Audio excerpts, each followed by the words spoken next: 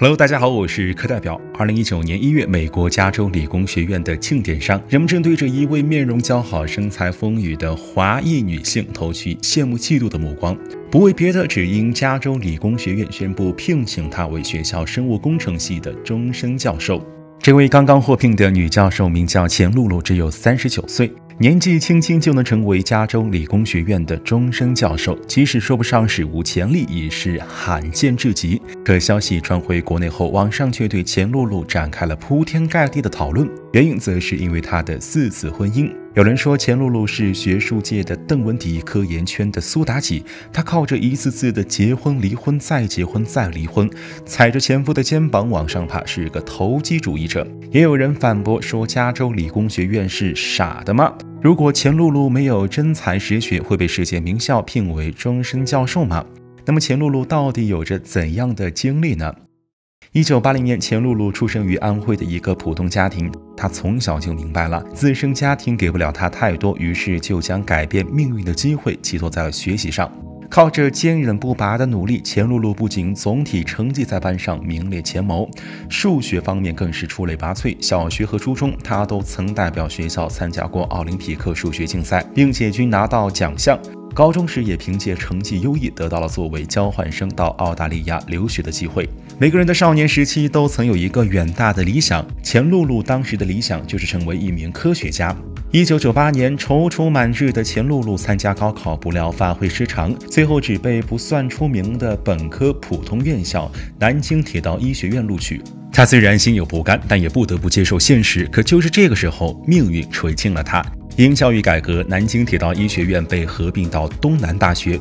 东南大学可是985、211重点高校，钱露露直接摇身变成名牌大学生。不过，钱露露也知道好运不可能一直偏爱自己，于是决定提升自己的学历，考研。不得不承认，钱露露始终知道她想要什么，该做什么，并且果断朝着目标努力。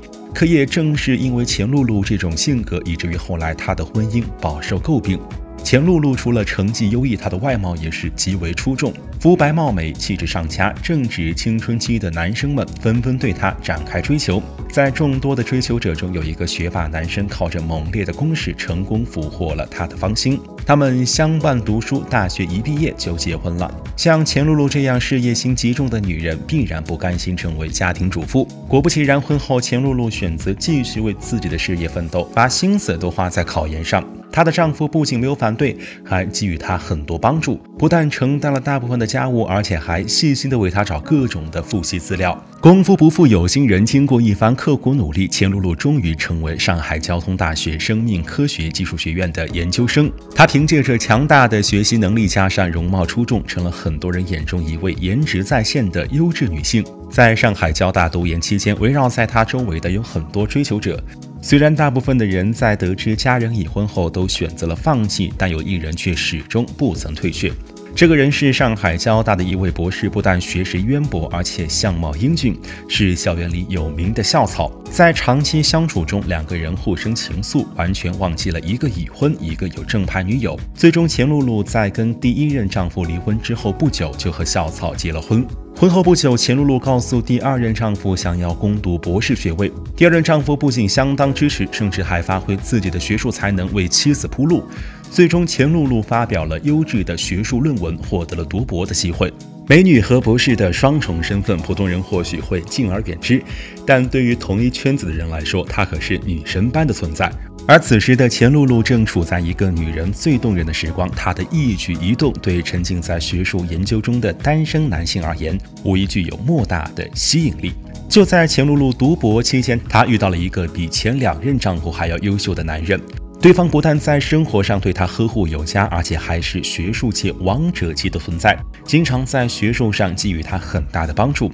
他还主动帮钱露露找博士论文选题，鞍前马后，忙来忙去，那么贴心又那么用心。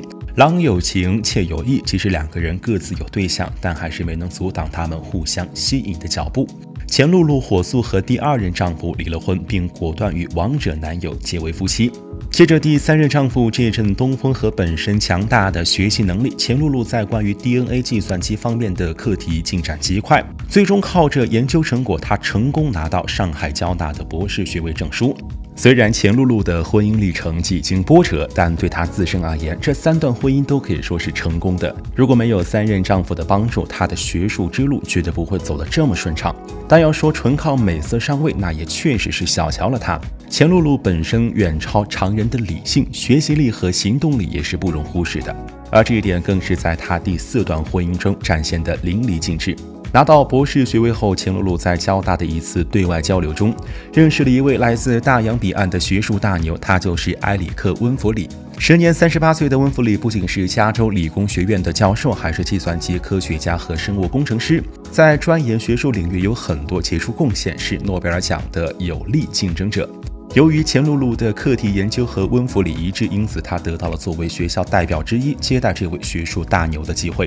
遇到温弗里的时候，钱露露只有二十七岁。彼时的她，身材清瘦且玲珑有致，既不失少女的清纯，又饱含少妇的性感，堪称宅男杀手。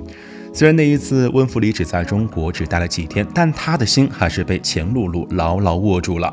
日思夜想的温弗里决定主动出击，邀请钱露露到加州理工学院做学术访问，并承担全部费用。面对这个机会，钱露露自然不会放过。为了向钱露露证明自己的爱意，温弗里用尽各种方法，甚至不惜引荐有 DNA 计算机之父之称的莱恩·阿德尔曼给他认识。